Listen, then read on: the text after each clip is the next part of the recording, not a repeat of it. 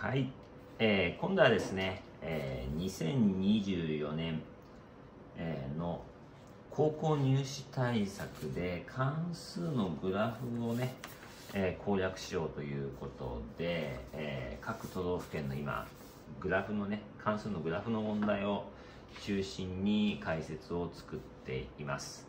でそれのですね今回は第何回目だ？の関数のグラフの、えー、8回目かな？おそらく。うんそうですね。第8回目ですね。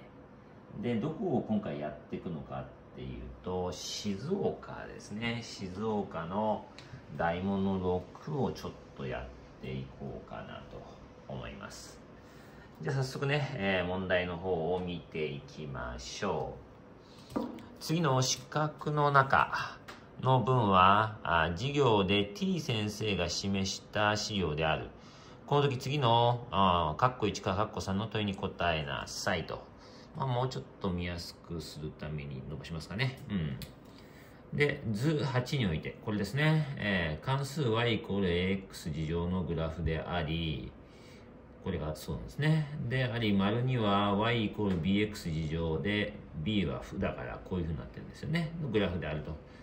2点 AB は放物線上の丸1の点であり、その x 座標はそれぞれマイナス3、2であると。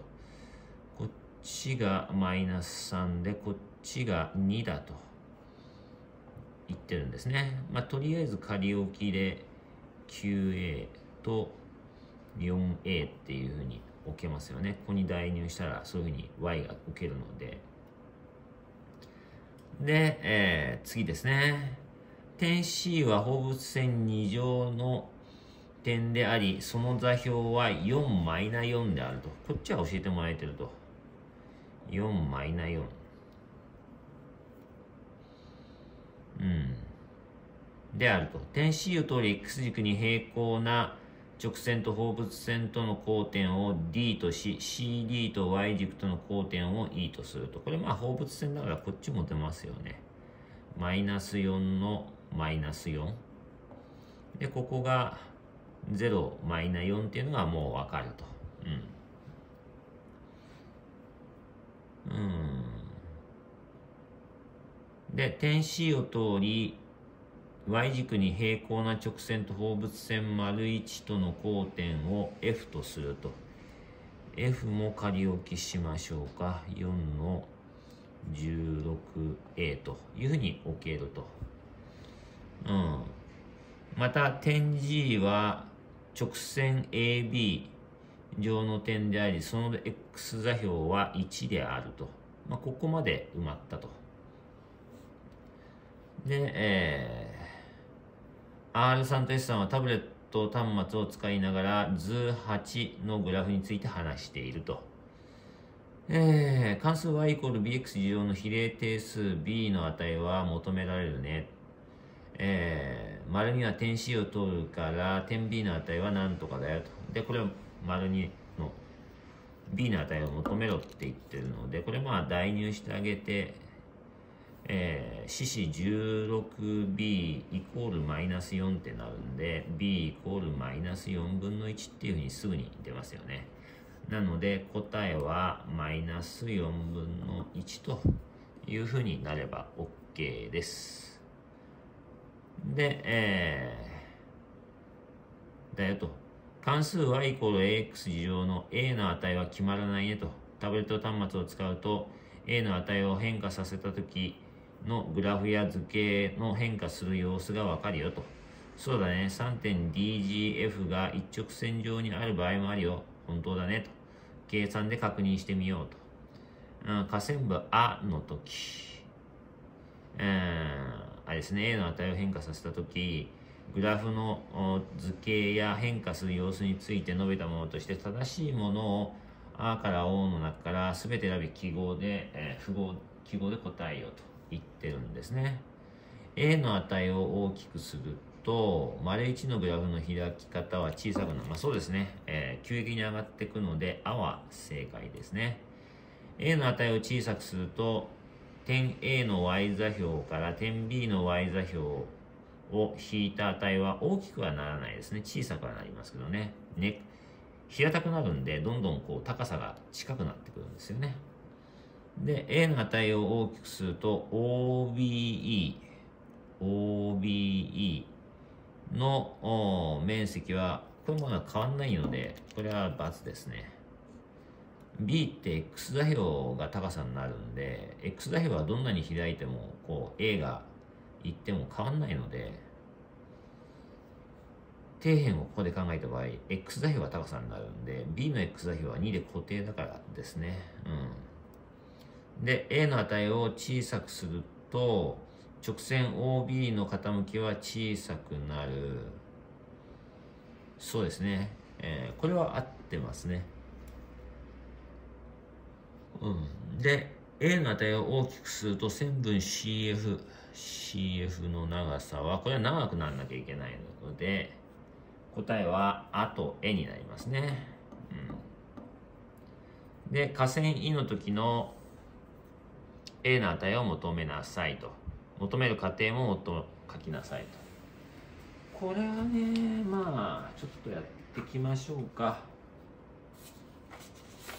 まあ、さっきね座標を入れといたので、まあ、ちょっと引いてみますかね。うん、もうちょい引くか。こんな感じで。で、えー、関係あるのは D と G と F ですね。とりあえず AB の直線の式を一旦求めに行きましょうか。ね。そうすると、うん、X の増加量はマイナス3からこれ2まで増えてるので、えー、っと、5分ので傾きが、まず X の増加量ですね。Y の増加量はマイナス 5A ですよね。ってことは傾きはこれマイナス a になるよねと。